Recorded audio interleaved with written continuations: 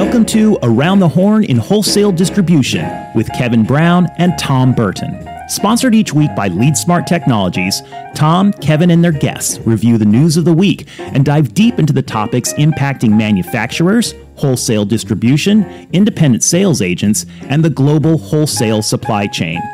Whether it's M&A, SaaS and cloud computing, B2B e commerce, or supply chain issues, we peel back the onion with our guests into the topics that impact your business the most. Very good. How are you, my friend? Okay. Very good. Well, we got a lot to pack in today. So uh, let's do our quick introductions and our housekeeping getting rolling. And hopefully we get some good guests and some good, uh, good, or not guests, but good listeners today and some good comments. So if you're out there, let us know. Uh, where you're from if you're uh, with us on the live broadcast. And so to get started today, I'm Kevin Brown. I'm the co founder and CEO of LeadSmart Technologies, and I'm here with my lifelong friend and co founder of LeadSmart Technologies, Tom Burton. And we get together every Friday morning unless uh, somebody's in uh, an airplane, vacation, or the hospital, I guess would be the, the way we look at that. And uh, we chat about the news of the week and mostly you just went on mute. Now your microphone went away. Wow it's tough morning for kevin. Um, it looks like he just dropped off. Well anyway i will continue. So as kevin said um, we are covering the news each week. We go through a number of different categories, as we know, economics, technology, and so forth.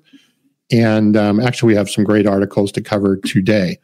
Um, if you are uh, listening on the podcast, you're obviously not going to see the newsletter, but um, you can see the replay of this on LinkedIn as well as on YouTube and a number of other streaming places. I think Kevin has just completely disappeared. So, um, oh, and by the way, I'm not used to doing this. This is uh, usually his job. Is we are sponsored by LeadSmart Technologies.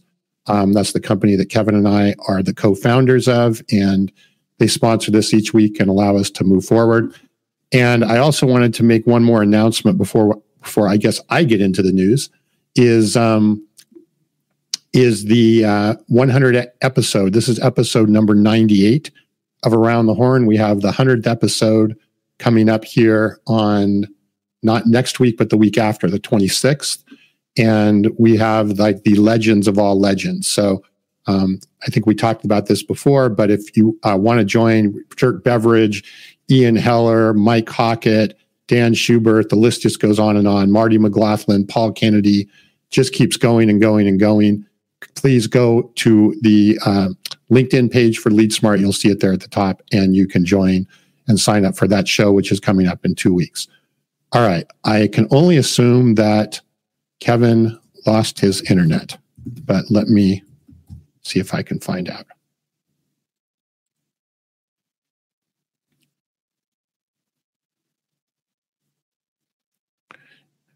Well, um, I'm not hearing anything from him, so I only can assume that he has lost his internet. So I will handle the news myself until we uh, get him back here. And hopefully we are coming through on the other end. Man, this has just been one one thing after another this morning. So starting with the news here, economy and supply chain, and it really is too bad because Kevin would be really gloating right now. Um, as you're probably aware if you've listened, Kevin and I have had this bet about are we going to have one two one rate cut or two rate cuts this year? Um, you know, a month or so ago, the uh, chair Powell had basically said we're going to do one one rate cut, and you know, Kevin was telling me that I was gloating. Well, now what's come out this week is that inflation has fallen a bit. We're still at the three percent rate, but it's down from what is expected. Um, the, the Fed or Chair Powell had a meeting saying that you know, they don't want to continue to hold rates for too long. Oh, looks like he's coming back here. Hey, hey, did you miss me? I, I was just going on my own. We were already down the road in economy and news. Well, so. man, and I'm guessing everybody had uh, probably joined right in and said Kevin's not here. It's going to be a great show. Yeah, it's, it's I'm getting more comments, and there's everyone seemed to be super excited. So, well, I, I apologize. Uh, I don't know what happened there. All of a sudden, I got this thing. I was on mute and no camera, and had to replug everything in and change microphones. And I don't think it was a microphone issue. You know, I I got a new mic as you've been helping me with this week, but uh, you can hear me okay. I presume. I can hear you okay. Okay. Well, sorry, okay. sorry so, about that. And um, you know, I'm sure you covered uh, the news. Everything's good.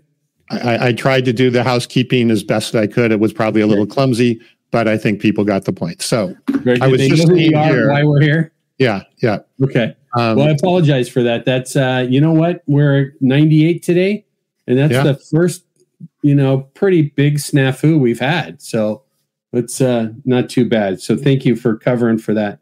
So um, I, was just saying to everybody, you're probably gloating, and I was just going into these first articles about the inflation changing. Um, but uh, well, I was thinking yeah. I'm going to see I'm going to see you next week in person. You want to just go ahead and buy the steaks now, or yeah, yeah, I, that might happen. Um, no, and I was just I was actually just about to go through. I you know, despite all of this again opinion, right? Yeah. Um, and I was thinking about this a lot last night. If I, and, and this is not just me trying to, you know, hold my one position, but if I really just look at this, this is how I kind of see this playing out. Mm-hmm. I do agree that we are going to see a rate cut probably in September, assuming that nothing drastic changes between now yeah. and then. Yeah. I think that I don't think we're going to see, you know, we're at this 3% rate or whatever. I don't think we're going to see much difference in that, whether it goes to two nine or three one or three two or whatever. I think it's going to stay around there for the next few months. But I do think we are going to see that rate cut in in September. I think that's a high probability event. But then I still believe that's the end for this year. Okay. And for for a lot of different reasons, because I think unless we the the as we talked about, I think two weeks ago, I don't see the interest rates changing, or the not the interest rates, the um, the inflation index changing much over the next few months. The job level may change. And if the lo- job level continues to drop gradually, then we're going to, I believe we'll see more cuts going into next year, which I do believe will happen. But I think this year we're not going to see a radical change. They're going to give us the one, throw us the bone, and then that's going to be it till the end of the year. So, yeah, I, am still sticking, sticking strong. Yeah, well, you can clearly hear yourself trying to justify a poor decision. So I don't know if you call it poor decision. I just call it a uh, an estimation. But okay. anyway, uh, uh, uh, uh, one one lacking in in yeah. merit. Yeah. Anyways, I, I, think that where I would disagree with you on that, Tom. I think this from the standpoint is, um, there, and this is what this this is what I and I'm going to read between the lines a little bit and preface. I guess I should say that you know, as we always do, we're not economists. We're not. Uh, nobody's invited us to be a board member at the Fed or a governor, as they think they call them. But I, I think here's what's really going on. If with listening to Powell this week, with some of this is numbers are looking better, right? They they I think they used the term um, speed bump of what happened, uh, you know, in the first quarter, and now things are doing what they expected them to do. But what you're hearing more and more and more of, and, and from Powell himself, and then Janet Yellen came back out and commented that you know that they looked at things from the from the um, um, labor market, reinforcing what Powell had said about the labor market, supporting that we're on the right track with this. I think what happens is you look at this is that bond market had a, an adjustment, stock market had an adjustment, or the Treasury, I should say, had an adjustment earlier this week when Powell spoke. Stock market certainly did. Stock market is certainly factoring these these changes in. I think significantly at this point. But Powell, I think, is really starting to say in this setting is that um, there. It's almost like he's rationalizing. I've got to get this done because of the the negative impact that could happen if we don't. Right? If we miss this, it could be just as bad for the economy as us getting a late start of raising interest rates. And I think that's a big piece of where he's coming from right now. Well, I agree. I agree with that, but I think there's another edge, another side of that coin. Is they start cutting too much too quickly, and then they have to come back and go, oh crap. And then they're actually talking about raising something again. That can also cause. So it, it is a balancing act. I just think if you look at all the dynamics, I'm still sticking with my one. So, I, and I think that's good. I mean, I'm appreciative of you doing that. It, it really kind of sounds a lot like what the Republicans are, you know, stalwarts are staying saying about the president. Stay in the race. Stay in the race. Right. Stick with your opinion. Um, I, I do believe though every day right now, and and you know what? To your point though, we could see an uptick in something or a change yep. in something in the next couple months. But there's pretty major people out there right now that are also talking about um, should, that they should be doing something in July versus yeah. waiting until September. I don't I don't see that. I think right now everything is pointing to two. There's in one of these articles there was an economist that had his whole explanation of why we should do three this year. I think my view of it is it's just different than yours. Um, is that uh, I think we're going to see two this year because it's baked into so much, and Powell and the Fed is scared of not having the reverse effect, and that maybe we don't see anything in Q1 of next year. That's I'm going to take a little different view than okay. yours and saying two this year because of the pressure to to get yeah. them in. And, and, and I, and, and, we're probably saying the same thing as it relates to the next six months or next 9 uh-huh. months. Right? Yeah, yeah. Uh, I, I, think you're right on track for that. I, I, think it's more of the timing issue. Yeah. That I'm looking at differently because I again, there's two factors that are two major factors that tend to be, you know, the ones least we hear about. One is the inflation rate or the CPI or the mm-hmm. PEI yep. or whatever they call it, and then employment. Right. Well. Yep if we see a tick up in employment, which could very well happen going into the holiday season and so forth, if we see a tick up even from the three level to three one, three two, then they have every reason in the world. Okay, let's not get ahead of ourselves. Let's hold back a little bit yep. and be more deliberate. Now, again, it's a timing issue, right? Then you come into the new year, you have the election, you have a lot of other things that could affect the dynamics of that and the timing of it. So, yeah, it's a bit of a crapshoot, I think, still at this point. That's why I wasn't voting two weeks ago or whatever when it was we're only having one, right? I mean, look how much has changed in two weeks, right? You know, I or mean, whatever it was. And I think that's key. We've got to, and, and, hopefully that's why people tune in with us pretty regularly and the to, to kind of at least see the articles that come in the newsletter. I presume when I fell off the face of the earth, earth there for a couple minutes, you talked about the fact that we publish a newsletter each week called Around the Horn and Wholesale Distribution. I, I did. Yeah, I, I, didn't do it near anywhere near as eloquently. it probably went faster though, but right? I'm, it was much faster, and I'm sure people got the point. Yes.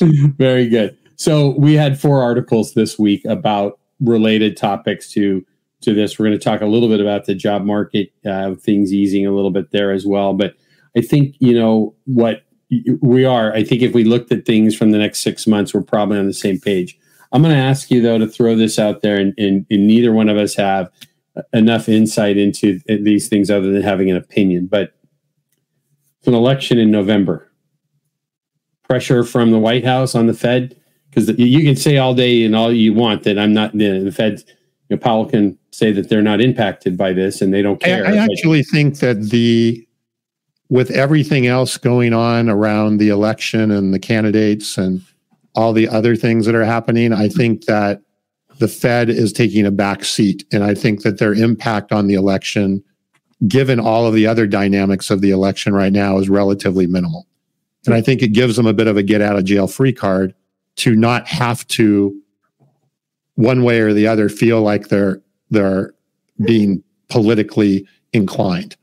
I think it gets it's taken them out of the the limelight limelight a bit. So okay. um, so I don't think we're going to see much movement one way or the other based on politics.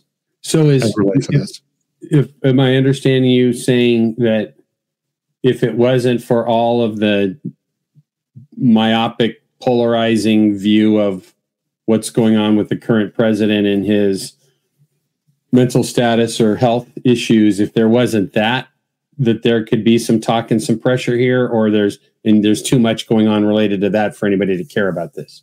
Yeah, pretty much. Okay. Yeah, I think you might be right with that. Um, because I do think that there would be a, a, a, great amount of grandstanding that could happen if we're, you know, have a cut in September and then we're looking at another one late was would be November, right? Would be the next option, right? I think right to be you know grandstanding the day before the election, saying you know next cut's coming and look at what I've done. So yeah. it'll be and interesting to watch. And that's not the issue at hand right now, right? So yes, correct, very correct. So, Which is we don't talk politics on this show, so we'll uh, we'll just jump ahead on that. So. Uh, the, I'm going to uh, kind of jump here, Tom. The other article that we had in in our uh, weekly section here where we talk about the economy and supply chain um, was about re- retail imports continuing to rise despite supply chain issues. And this was, I thought, a, a pretty good article here where um, it shared the idea of the fact that stuff's getting in through the ports, right? Probably not as much as supposed to, but they're talking about this happening in spite of freight increase, price increases being up significantly. No likelihood. This article talked about no likelihood of there being a any change to the Houthi rebels situation going on in the the uh, Red Sea in the Suez Canal, and the fact that we've got labor issues going on. There's actually in Canada there is um, risk of a rail strike right now, and then you've got the East Coast and the Gulf ports um, unions who September is when their contract's up. So things are still getting in, but prices are way up, and that's going to impact both wholesale distribution and you know the B two B world and the B two C world, and inflation. And, well, there you go. um, what, what what was I what I in the article here, which I found interesting, right, for all the challenges and mm-hmm. things that the but what they didn't say is necessarily why or how. Yeah. Right. It just said that it was better and that people were getting through, but it wasn't talking about well, what strategies or what's what are companies doing to to kind of um, you know navigate around all the barriers and challenges that are there. So, yeah, one they they did allude slightly to the shift to West Coast ports. Okay, and you know us being Long Beach guys, you know mm-hmm. both of us growing up there, and uh, you know maybe those ports are a little more efficient uh, when you think about the West Coast. But there's a lot of them too, right? You know, yeah.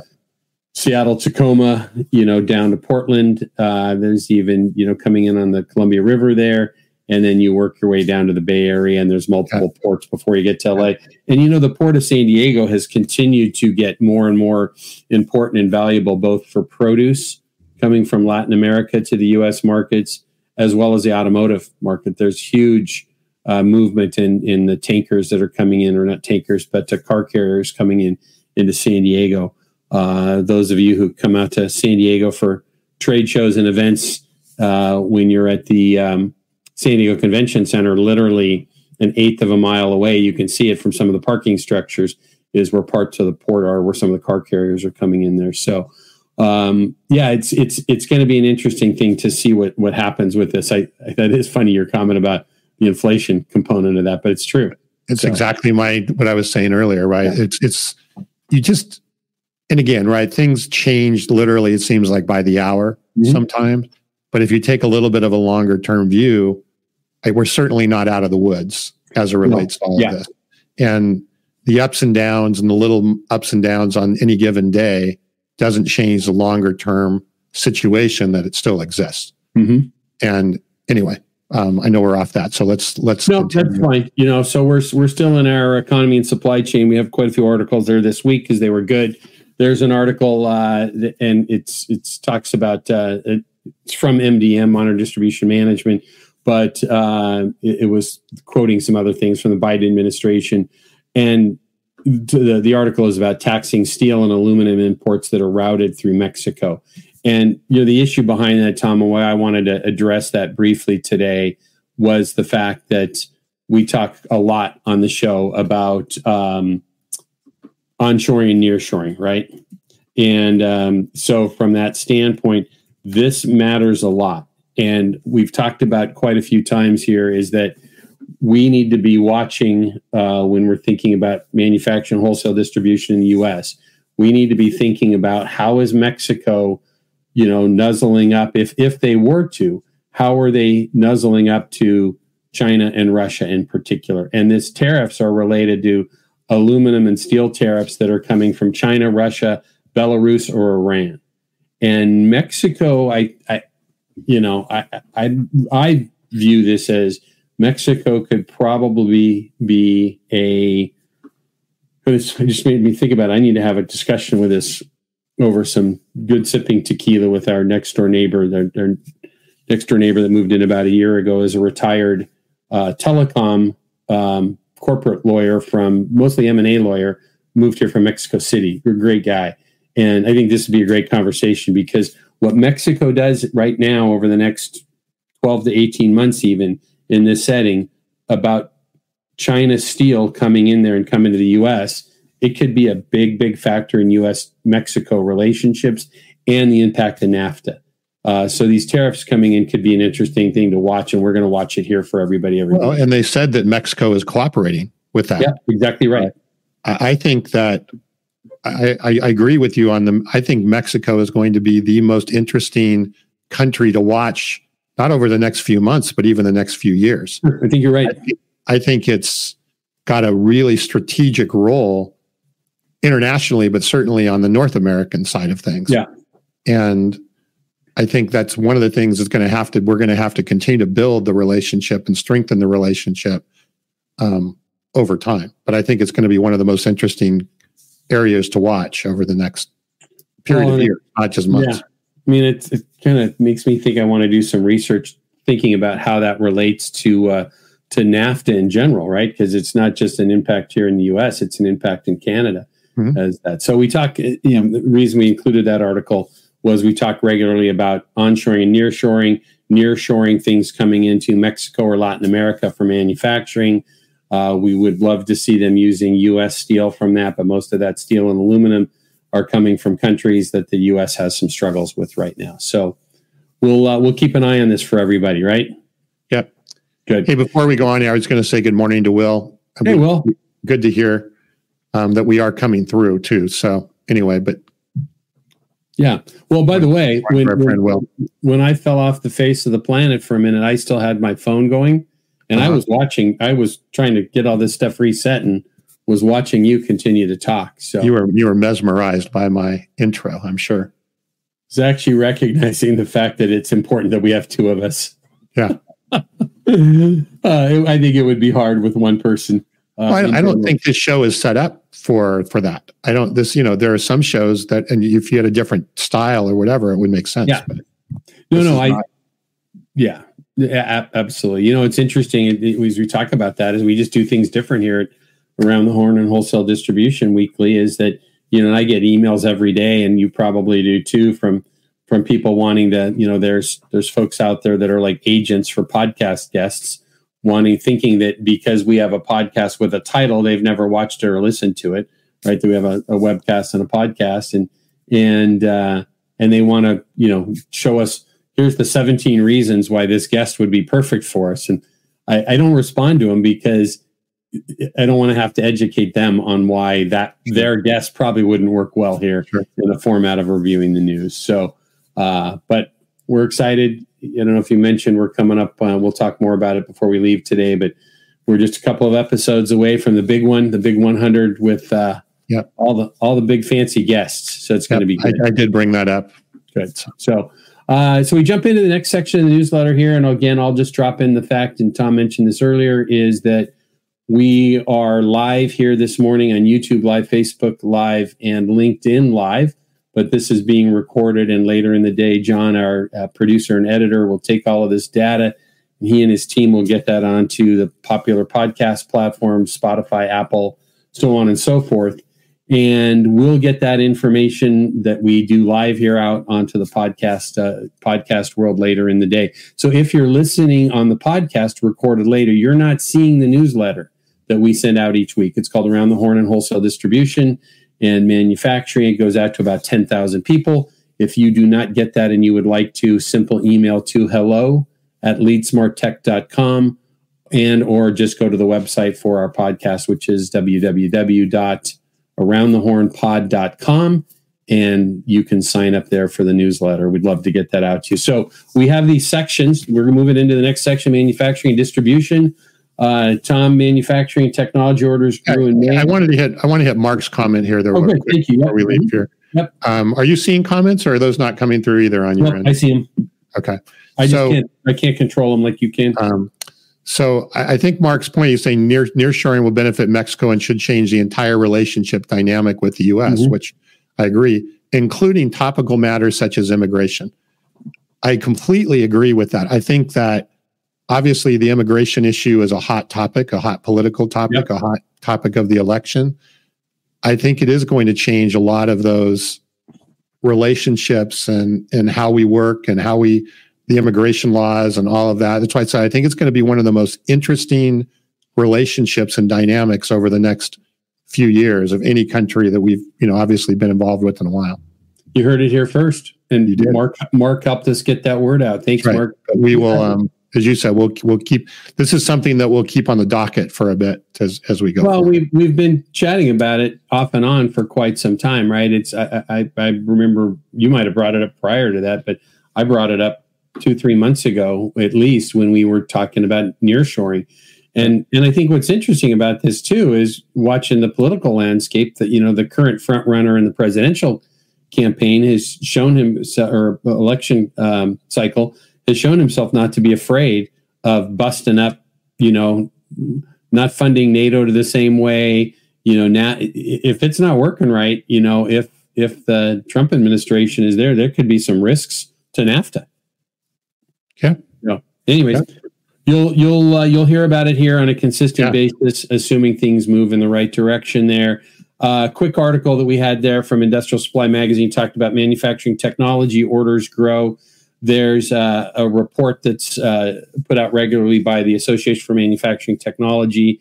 So we had some growth in that segment, which is good to see. Um, we got some important articles, so I want to kind of move past that. I did want to mention, though, if you get the newsletter, uh, you can see it on our site or just go to Modern Distribution Management's website. They have their mid-year outlook that uh, captures kind of a current snapshot. They give some good information about um, growth in 2023 and then kind of a snapshot of where we are in 2024. So they've shared some good data that's there as well. And from a growth standpoint, they're predicting uh, the MDM forecast projects 24 uh, 2024 only having a nominal growth uh, of 3.3% and then 4.8% in 25. So that would take the uh, wholesale trade revenues to $8.147 trillion. Yeah. Uh, and I thought it was really nice how they broke it down by category in there. We did. Yep. They do a great uh, job with that. Yeah. Yeah. So everything's broken down and some some some good, you know, insights around some of the different categories or verticals within wholesale distribution. Good. Well, let's jump into uh, Tom into our e-commerce and marketing segment, which we uh, maybe we have some things that are maybe a little less um, a little less volatile to talk about now. how's that? I don't know if that's the right term, but that's what kind of comes to my mind. There's a good article that we we featured from Digital Commerce 360 about um, the B2B organizations wanting to scale revenue versus e-commerce. Any takeaways on that one?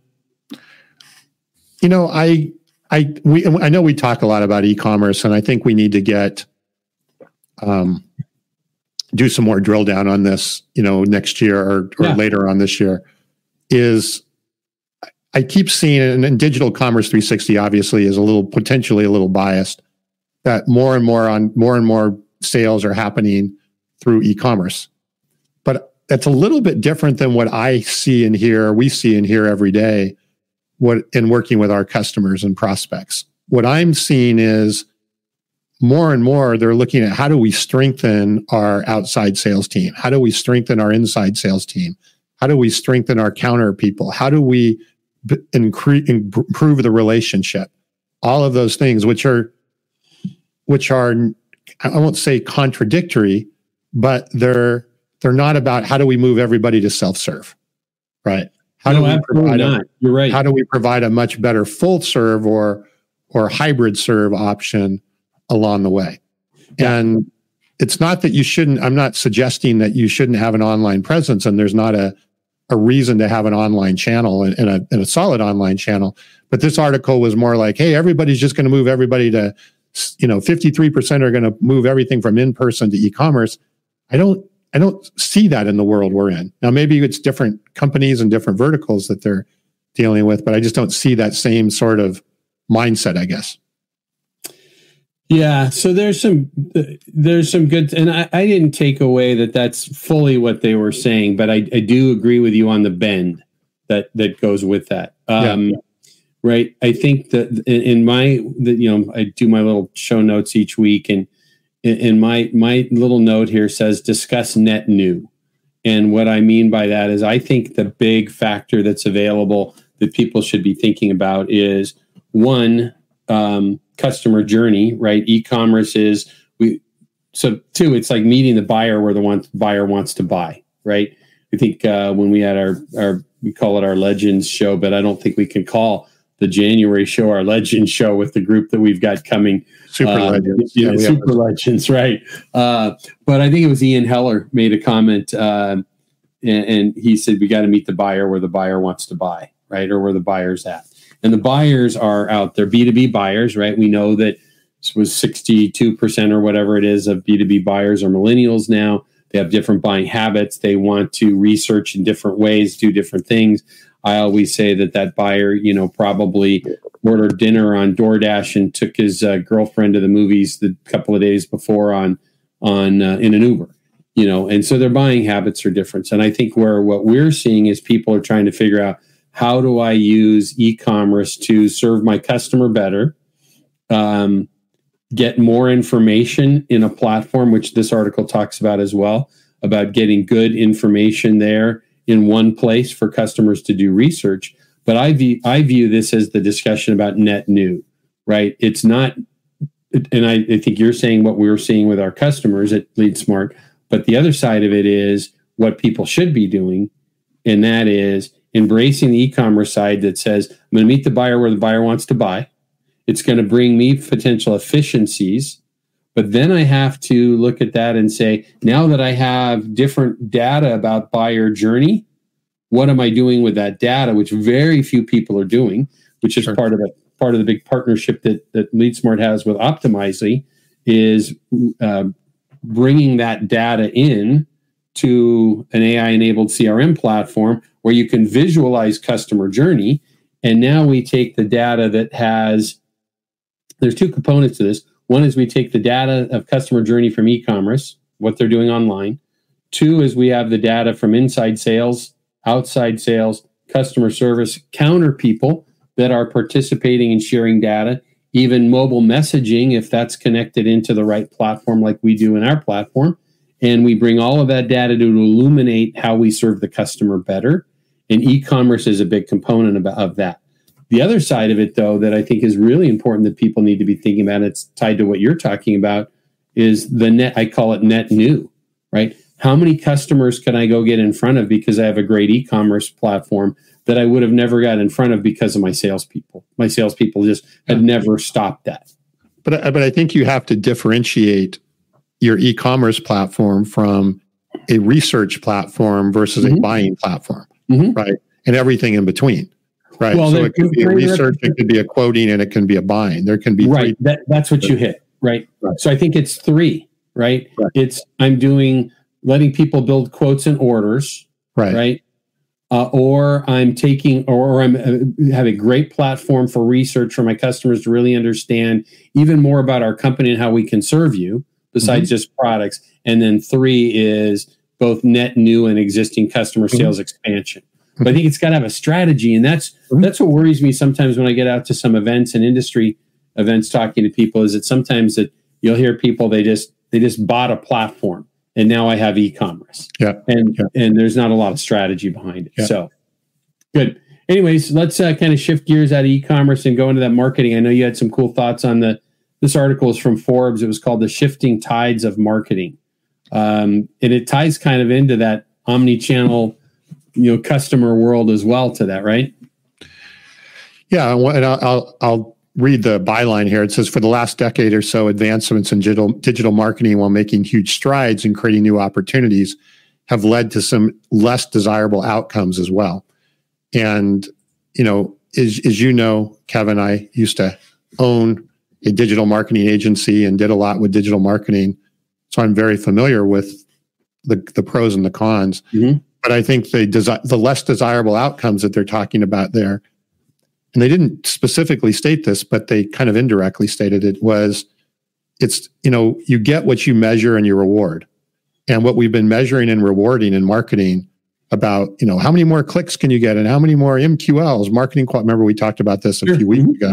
Yep. And how many people did we you know get to to visit our website? And we we have been measuring in a lot of cases the wrong thing that is not very customer centric and is not very buyer centric and it's more vanity metrics on the side of the business and don't even necessarily represent exactly something that's going to turn into revenue growth or sales. So a lot of the bad marketing quote unquote that they're talking about in here has resulted from measuring and rewarding the wrong things and we talked about this a couple of weeks ago Mhm. if you really look at how do you use marketing to improve the customer experience, provide more relevance to the customer, and drive more revenue growth, and you look at that versus all of these other sort of metrics that may or may not make any sense to those three things there, Mhm. then you can start to reward the right statistics and the right things that you're measuring. And this article, I think, did a good job of of reviewing that. I think that's good. I think there's another factor here, right? And I, it's interesting. I I sent this article this morning to uh, an agency that does some work for LeadSmart, and um, and wanted to chat with us in our next meeting that we have because one of the things they that, that this article talks to it said well, I'll just say it says the norms in B2B marketing channels and tactics are becoming less effective due to macroeconomic climate, content and data load or load o, data overload and buyer fatigue. The focus is no longer on digitalization for efficiency's sake, but rather on using very uh, these very tools for to forge authentic connections. And I think that's the challenge, right? You referenced MQLs and the world right now, and it, it's amazing how many people want to to sell you a service, right? Uh, whether it you know it's a a marketing agency or it's a a, a, platform for um, an event or whatever it might be, right? And talk about the leads that you should get, right? And and what what happens is that is that so often when you get an MQL or a marketing qualified lead, which just says, "Hey, marketing says this is good. We're going to nurture this lead a little bit forward." See if we can get some patterns out of it, maybe some signals from it that says now it becomes an, an SQL or a sales qualified lead and it can jump the fence to the sales side of the house. And that is so abstract and so um, uh, generic of a mindset because what's not happening is is we're not having and I, I just love the the term that they use here is authentic connections and part of what this this article talks about is the opportunity that AI brings is when you're using AI to look at the correct signals now we can start and, and it's funny tom and, and you have a lot more experience of this than i do but i just think about it uh, when you we think about the difference between um, marketing campaigns and marketing automation, right? A marketing campaign and a constant contact or something like that is just shoving out email after email after email.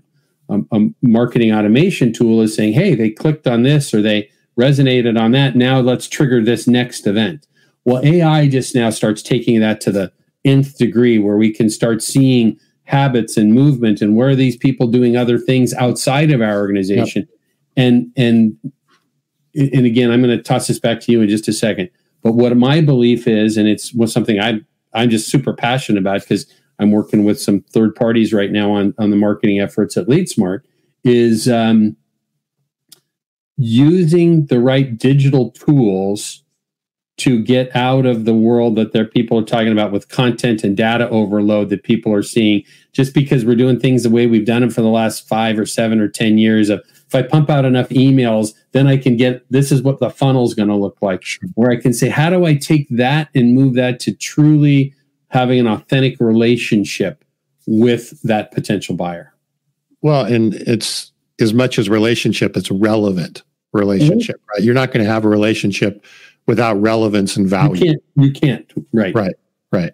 So it's, and I do agree that AI and I'm, I'm trying not to go down too deep a hole here, but you know, one of the things that historically in digital marketing has been a big thing is lead scoring, mm-hmm. right? So you have a lead, and well, they did this and they opened this email and they clicked on this link and you give them points for every one of those. And then right.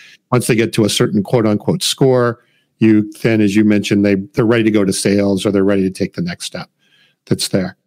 I, I think the concept of lead, lead scoring could go to another level of quality through the use of AI. So you're not just looking at clicks and, and transactional lead scoring, but you are looking at more relevant data that actually says, okay, now the customer, you talked about the journey, right? right? Now the customer is, or the prospect, it makes sense to move them or to help them facilitate to the next step, help to influence them to the next step in their journey, their journey, not your journey. Their journey, not your journey. Exactly. So I think there's a there's an opportunity for that for sure with AI, um, and can kind of change this whole mindset of lead scoring based on who many how that they clicked on my email or or they opened an email or they you know whatever the case may be that may or may not have any relevance or value again to the customer and what they're doing. So. I think that's that's a, a great recap of that. So, anyways, marketing is changing, and yeah. and keep up is the yeah. important, right? Yeah. Yep. So the um, you know, and, and, Tom, before we jump, I want to make a comment. You see Will's note there about basically he's talking about GDPR, mm-hmm. um, which yeah, you can't you can't spam people anymore. But the reality of it is, and I agree, I agree with what Will's saying that about you don't have an opportunity to spam people the same way you know you could get away in other parts of the world in in the EU with GDPR. But the other side of that goes back to the fatigue because you could have an opt-in list that is fully compliant with GDPR and you're still putting out junk to them even though they've they've just not never opted out right. Right? Relevance and, and value. Relevance, relevance and, value. value. Right. right. Yeah. So good. All right. Well thanks for that will. Because he's right on on, on track yep. with that right? There's some pretty major major issues if you violate as a company if you violate gdpr but the other side of that is you know keeping people on track with relevant stuff that, that brings value to them. So let's kind of jump ahead to these uh, our technology and cybersecurity section. And ai and ai yes. we, you, we talking about ai here this is what it says i'm just following what you what you have in your newsletter here that's right i'm the one who added the technology cybersecurity segment with ai right yes. um, so China leads the world in adoption of generative AI, a survey shows. Your first takeaway this is from Reuters. Yeah, I, have read the article actually a couple times. Mm-hmm. Um, honestly, I don't have a lot of takeaways here. I, I don't. It, it, was I was trying to kind of get the story behind the story as to, and I'm and I'm actually surprised because there is a lot of regulation that AI regulation that is developing in China um, for reason obvious reasons, right? That you can imagine. So um, it didn't really give a lot of insights as to why they are the leading and how they're necessarily using it. Mm-hmm. So I don't. I find it interesting, but I don't have a lot of a lot to add to it because there just wasn't a lot of meat on the bone in terms of what was going on behind the scenes there. Yeah, so there's two two components to that though that that uh, that really come up out of this, and it's the um, they're leading the world right now. In fact, it was last week a report from the United Nations World Intellectual Property Organization that China was leading the patent race in Gen AI, which I thought was really kind of intriguing um, to see how far ahead they are on that. Now, is it is it great? Is it good technology? Is it game changing to the point of an an open AI or somebody like that? Probably not, but it is interesting. But the the big takeaway for me of this is besides the fact that, that, that that's great that you know their their businesses and people are adopting specifically chat gpt um, more so than other areas is the piece that goes with this that they talked about um, i'm just trying to look at the note. They called it um, the enterprise adoption of generative ai in china is expected to accelerate as price war is likely to further reduce the cost of large language models. But then they also talked about the fact that they're using far more in China, which there is a big risk and people are concerned about, is they led the world in continuous automated monitoring, or what they call CAM, which is extremely controversial because it's the tool for monitoring vast amounts of data on users' activities. Yes. Right. So there's the risk, and that's the that's the thing that people talk about being a, concerned about, right? Is you know you get nation state that starts monitoring my behavior and my communications and privacy infringement. Well, that's the big thing on TikTok, right? That's the whole big uproar on exactly on right. TikTok. So well, and it, this article even referenced that one of the you know they call it tech giants uh, that's getting behind some of these patents that are being issued in China with regarding AI is ByteDance, and ByteDance is the own, current owner of. Uh, we'll see as things change, but current owner of TikTok, and that's exactly right. It's like you know how much do people know and what's available. So, um, you know, interesting too. Did you catch Will's comment? Thanks for that, mm-hmm. Will. It's, Will Will commented about how much information has been redacted from the large language models. Yeah, I hadn't thought of that. Right. It's like here's what we want you to. There, there's more data, but you're going to get to see this. So yeah. that would be an interesting thing to see. So. No, I well, said that you you take you. There's a lot of to me. There's a lot of questions that come out of this article. Mm-hmm. Um, and I'm you know maybe there's answers to them they weren't necessarily covered here, but yeah, there's a lot of follow up sort of discovery that would be interesting to see as it kind of goes down that rabbit hole. Well, I think it's extremely valuable to see articles like these yeah. that will tr- trigger us to yeah. be paying attention right. to absolutely right what's next, and it, that's incumbent upon us to yeah. hopefully bring some value to our listeners and readers um, to follow up on this stuff. It's going to be interesting to watch because that that last segment there about that that you know that continuous automated monitoring that's the that's the stuff that worries people, right? Yep. That's the, that's the stuff that is a is reasonable to be concerned about. So, mm-hmm. all right, let's keep a close eye on that one. Let's look for both look for other articles that we can share related to that. So, um, jumping ahead, what do we have next there?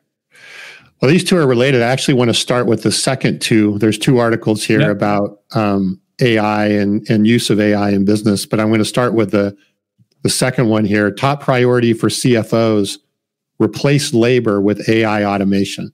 Mm-hmm. The survey reveals that two thirds of CFOs state their top priority is automating tasks typically performed by employees, with a significant majority planning to integrate AI in the next 12 months.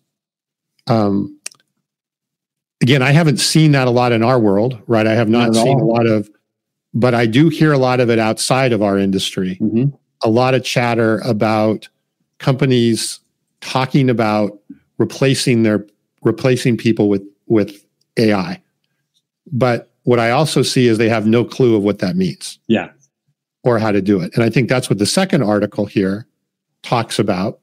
The Harvard Business Review article, the six disciplines companies need to know to get out to get the most out of Gen AI. Right. And the cap, you know, the, dis- the it says AI requires several different types of disciplined hence the word discipline, capabilities there that unfortunately most companies lack these, is what it says. And it's a big, big, a big gap, I believe, from and I think this is unfortunately what's going to impact the going back to our rate cut conversation. I do believe there will be a lot of I don't know that there'll be a lot of layoffs in the next 12 to 18 months, mm-hmm. but I think there'll be a lot less hiring in the okay. next 12 to 18 months because they're going to say, well, can we do that with AI? Can we do that with AI? Can we do that? Do we really need to hire this person or can we do it with AI? Mm-hmm. And yet, fundamentally, as it talks about in this article, the foundation is, is not in place to even remotely have an AI centric organization in place. Yep. And so you're going to end up with the worst of two worlds, right? Where you're not moving forward and hiring to do a job that needs to get done but you're not set up in a way to actually leverage AI. And one of the keys, the one of those key six points was system thinking was the word in there, right? And we struggle with this even with our customers and and prospects is getting them to be thinking more systematically about how they do sales and how they yeah. things. And that's not it's just not in the DNA of a, of a lot of companies, but it's going to have to be if you're going to take advantage of AI. Well, I think you're right on about the idea about if you want to take advantage of AI in this setting. I think you know I, I you know I talk to our customers typically on the on the front end of their relationship with us, and, and your team gets them implemented, and you get to meet with strategy meetings with customers.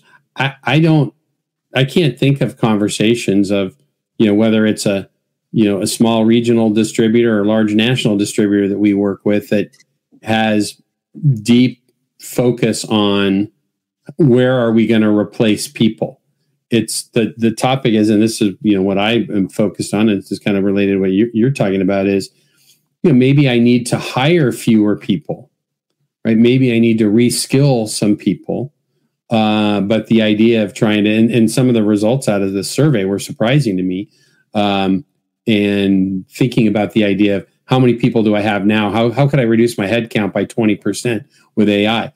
I, I would suggest, and to your point, right, it really ties those articles together uh, nicely, is because from that standpoint, is you need to have a strategy. And if you don't have, whether it's the six disciplines that the Harvard Business Review article talks about, or it's things that you've put together on your own, if you don't have a strategy of how you're going to use AI, forget about the idea. I mean, the damage you could cause to your organization by saying, "Oh, I bought one piece of technology," or I hired and you know somebody that says they know a lot about ChatGPT or OpenAI, that you're going to start, you know, changing your organization. I think that puts you at much more risk. Yeah, well, you're making organizational resource important organizational right. resource decisions that are not really based on any reality but and I agree with you. I don't I don't ever hear anybody talking about that in our world. No. But I hear about it outside of our world all the time from other friends and people that I know that have businesses. I have a friend who has what kind of businesses, Tom? Well, I have a friend, as you know, that has a pretty large electrical, um, you know, B two B commercial electrical. It's a contractor. yeah, contractor, electrical mm-hmm. service. He's talking about it, right? He's talking about how to he believes that he could reduce his his non electrician staff, his internal mm-hmm. staff that do estimates and quoting and mm-hmm. customer service and whatever by over 50 to 60% by using AI. But again, the big but is he have absolutely no idea how that would actually occur. Right. Right. And and the systems, and he's probably more system oriented than a lot of people that that I've heard this from that are yeah. there. Or, or if you again, if you look back to the Harvard Business Review article and you use that as an assessment and go, okay, how is my organization as it relates to those six key points that are there, mm-hmm. and then go back and then balance that against where are you really ready to be thinking about higher or reducing fifty percent of your yeah you know, customer service staff. The um, my my question for your friend, and you've talked to me about him many times, is when Walters Electric or CED or whoever he buys all of his supplies from moves in that same route where everything that his interaction with them now is AI is what are his thoughts on that? Good question. Right. And it's interesting. He, he may go. his question will be if it works, I'm probably for it. If it doesn't work, I don't want it. Right. Yeah. Yep. Good. Provide a better experience for me or a worse experience for me. Yeah. Does it help I, me reduce costs? Does it help me get things on time? Does it help me, you know, he it is interesting. I listening to him from the other side because you're right. He gets stuff from distribution. Mm-hmm, sure. And a lot of times he doesn't get it when he needs it. Mm-hmm. And there's, you know, the usual issues, the downstream issues there. Yeah. So, so does he want a bot telling him when the count stuff's going to be ready at the counter that he needs to pick up? Right. Does he want, I mean, and I'm not trying to throw any rocks at, at him, but um, I, I, think he would if it worked. Okay. Right. It's, it's again, again, is it work? When I mean at work is, is it giving me a good, as good or better experience than I get now by doing things with live people? Mm-hmm. Good. But if it doesn't work, no, you don't want it. So, nutshell on on these multiple articles here is you need a plan. You need to be focused and understand what you're doing with with it. You need to roll out a plan and adoption within your organization, and you're probably going to be better off if you're looking to find ways to enhance the people that you have versus get rid of the people that you have. And and I, I think what we're going to find is over the this would be an interesting you look at this snippet of a, today's show on, you know, July 12th of uh, 2024 to talk about this in 2027 and get a real look back and say, you know what? And I, I would prognosticate, you know, or, or pontificate at the moment here what we might find in the typical, let's just say a, a 30 branch HVAC distributor or plumbing distributor or food service equipment distributor, that they might have reduced their headcount by three to five percent uh, of existing, but maybe found a way to do better at things and not need to hire more people. That's my takeaway in a high touch service level industries like we talked about.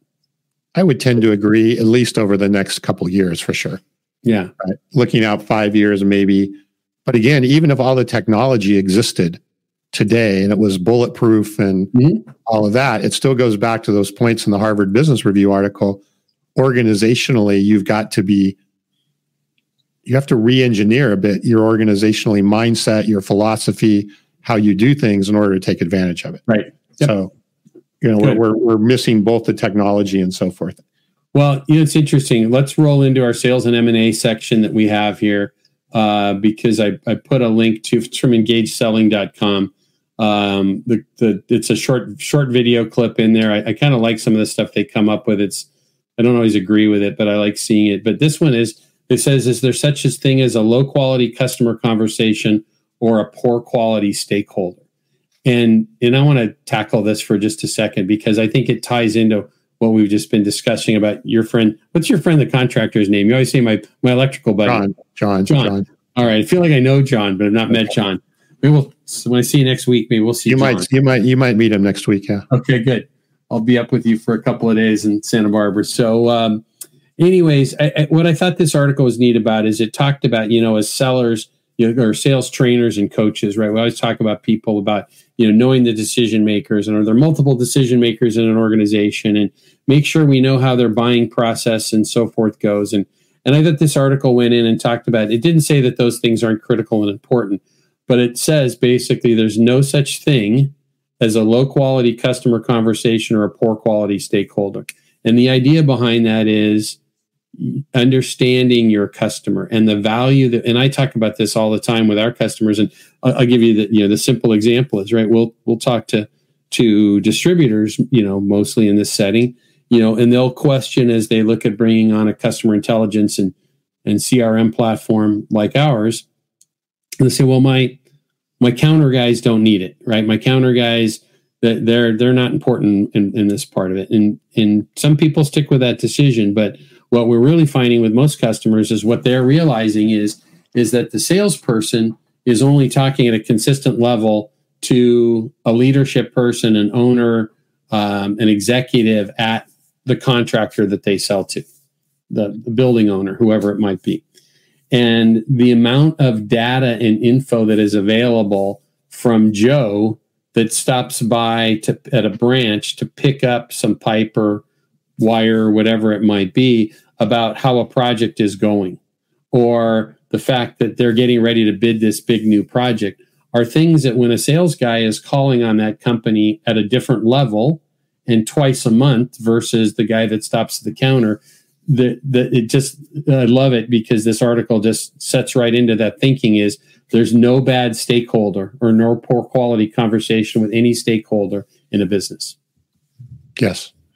And I and I also this kind of comes back to our marketing conversation mm-hmm. earlier, right? Yeah, is absolutely. What better way to understand how to provide relevance and value mm-hmm. and conversations at all levels of your of your customer, your right. base there. Well, if you if you think about it from the standpoint of you know, a sales guy is reviews his notes or gets a you know, in our case, a Genius Feed AI alert to him that says, "Hey, X Y Z company uh, just told us at the at the counter, and um, and and they need to do X in their organization or their work on these projects. So yeah. good stuff. That uh, if you get the newsletter, check out the video. Uh, and if otherwise, you can find it at engageselling.com. So moving ahead a little bit, uh, staying within that segment, there's uh, we talk about sales and M and A. There was a, a merger that uh, was discussed last month between the uh, iMark Electrical Group and bringing just the electrical group out of iMark into the AD group. And so that was approved earlier this week. I got an email from uh, from AD, and um, so it's um, looks like that's going to move ahead, and that'll start at the beginning of next year. Um, that those groups will be combined, which can be powerful. That takes AD up to, I think, when you look across the organization, it takes them up to probably over fifteen hundred um, members within AD, which is super powerful. So, congratulations both the iMark electrical team and the and the AD folks. So, uh, people in leadership. Next segment, we'll kind of jump in good article there about this was from MDM as well about labor uh, market and warehouse labor market improving. Now, this is something we do hear constantly from our customers in discussion and, and industry events that we may attend and so forth is how tough it has been prior to the pandemic and then even more so after the pandemic to get good people. Um, there's some st- statistics, excuse me, that they show here that it's that's easing up a little bit, and that's great to hear. Mm-hmm. So, um, yeah, and it's it was interesting on on you know some of that saying is that even though there has always there has still been a struggle to meet demand, mm-hmm. right? That most people are finding that it's and again, I'm wondering if it comes back to some of the economy thing and stuff. Is that are people willing to take jobs again that right. they weren't willing to take six months ago? Don't know. Yep.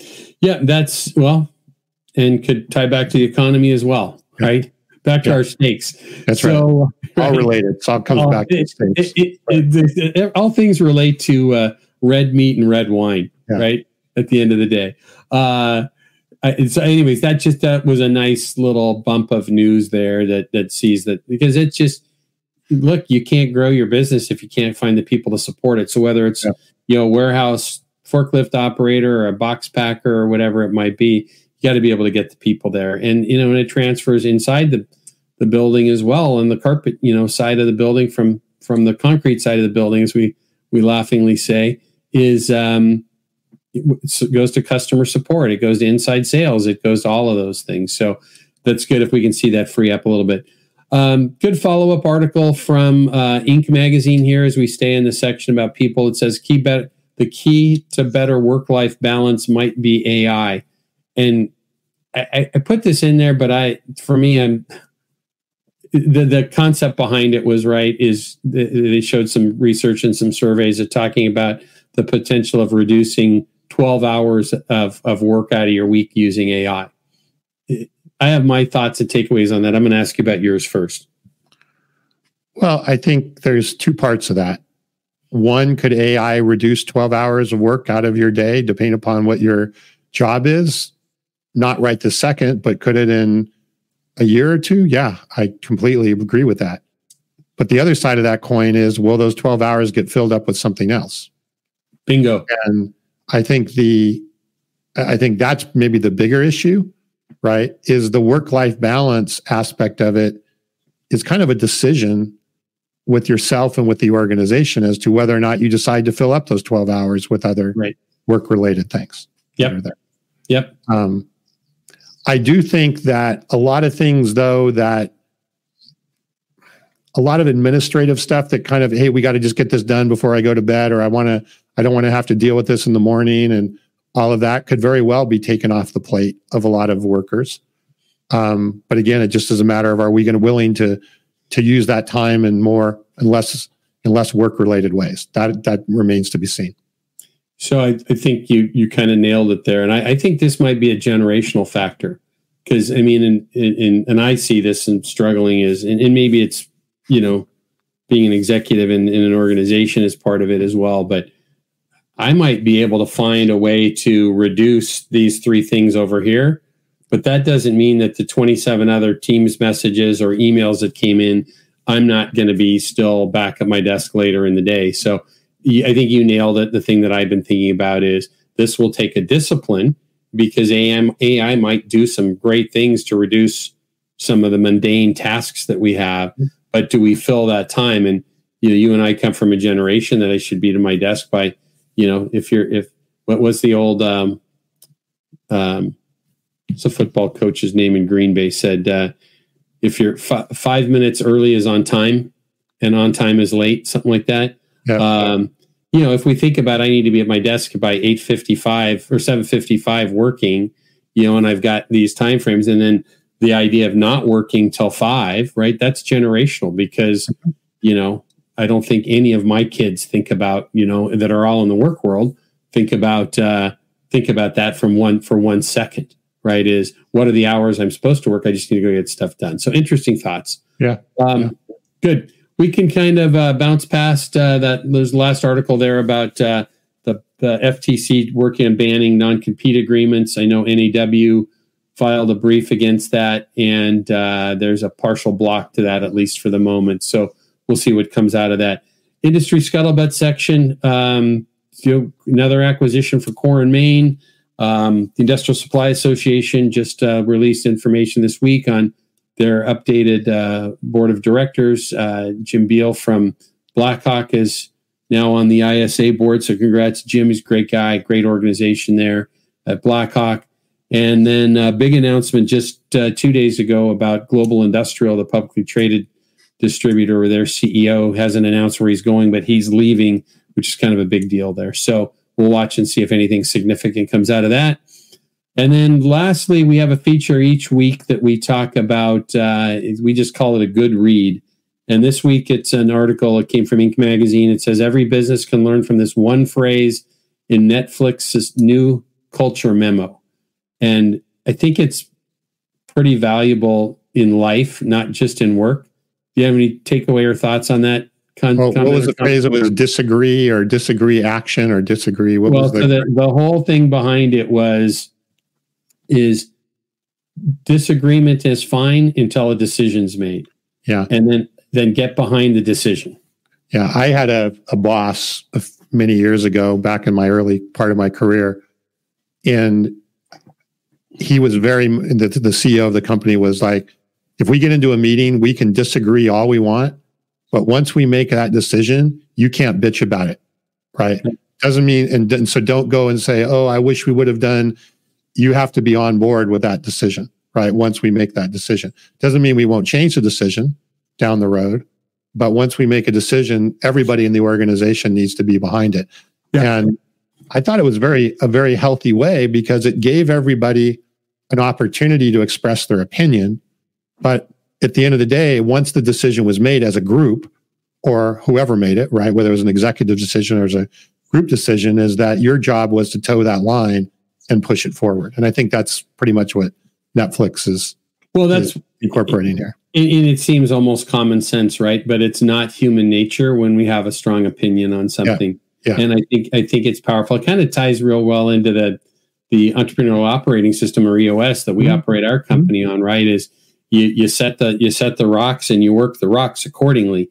And uh, there may be modifications or adjustment along the way, but you know, I, you know, I do a lot of I'll just call it faith based volunteer work. And I'm I'm on uh, as an elder in my congregation. I, I, I sit on a lot of meetings and committees and so forth. And we use the term yielding, right? It's you have to be willing to yield your strong thoughts on something to the better good or the the decisions of the group. And once the decision, you know, the hands have been raised and a decision has been made, get behind it, yield. And because mm-hmm. the worst thing that can happen is if you become divisive and yep. continue to, to politic and, yep. and play games behind the scenes about your decisions, yep. right? So powerful stuff. Good. Anyways, interesting discussion. Good discussion in general today. You know, a lot of things tied kind of tied together from all of the different sections as well. So all comes back to the steak that I'll be hmm. having later on this year. So that's the. I'll tell you what where I'll I'll see you late Monday afternoon when I get up to Santa Barbara. We'll be together Tuesday and Wednesday. Um, I think I'll be buying the steaks this week though. So, uh, yeah, we'll see. Uh, uh, we we work for a good company that can can help us with that. Right. But uh, but the other side of that is um, you're moving, and uh, you're moving about uh, next week, and we're moving our office and getting ready to open another office down here in, in Irvine, closer to me, which means you're going to be driving down here a lot more. But um, the bummer is you're you're moving you're moving away from our our favorite steak place and Mai Tai spot. Yeah, well, you know? there's there's others. There's others. I don't know. They don't have it. They don't have one in Ventura. So um, you got to spend your time in Ventura and get back to Santa Barbara just for my my Mai Tai intake. So okay. from there. So in closing on that, that though great great segment segue into uh, we have our um, what I'm referring to as our Aloha Friday 100th anniversary episode coming up in two weeks. So if you're listening on the podcast and you haven't joined us live before, uh, and you get a chance to join us live, YouTube Live, LinkedIn Live, Facebook Live on the 26th, I believe it is. Is that right, Tom? Um, 26, two weeks from today, yeah. 9, 9 a.m. Pacific time uh, on the LeadSmart Technologies channel on YouTube, Facebook, or LinkedIn. We have a cast of characters uh, that will be, it could be absolute mayhem or it could be just the best episode ever. Yeah. No, and so, I've I've seen a couple or heard a couple people say, "Hey, I'm I've canceled my Friday lunch appointment." Yeah, right. Make sure I can. I think this is one that it would be worthwhile to be at live. I just think there's going to be a lot of chatter and a lot of conversation. Um, not that it wouldn't be worth re-listening to on the podcast, but I think this is one to definitely get there live. So makes me think back the last time Mike Marks was on our show from Indian River Consulting. Mike, uh, you had made a comment about something, and Mike asked you how much drugs you did in high school. it's just you never know what you're going to get with with Mike and a few others. So, yeah. but we're also having, you know, uh, Dan Schuberth is joining us for the first time, which is uh, from NAW, which I'm excited that Dan's going to be joining us um, and bringing some relevance too. But I think it's going to be a lot of fun. So, but the, you know, the biggest issue, I, I know this is important, and we'll wrap up here momentarily, is you know this hundredth an- anniversary episode. It's it's not about Tom and Kevin, and it's not about you know just around the horn. It's really we developed a great audience. Uh, 100 episodes is pretty rare for podcasts unless you have huge budgets and you know huge teams behind you. And we do this with a small group of people, uh, but it, it it's only of relevance because people listen and care. And you know, I'm getting coming into the time of the year where I'm going to be traveling a ton to you know industry events, uh, pretty much nonstop from September into late November. And every time I'm, I'm at one of these events, I meet somebody new I've never heard of them and I've never heard of their company. And they will come by the booth or I'll meet them at a reception and they'll talk about the podcast. And, you know, I'm thankful to those people. Uh, some of them are our customers, some of them are maybe our customers, and some may be great customers, our competitors, but they enjoy what we do. So it's because of those folks we're able to do this. Yep. Good. All, All right, right, my friend. Let's, let's wrap up. It, let's call it a day. So we'll wish everybody a fantastic weekend. As we always like to end with be kind, be safe, and do good things. Have a good weekend.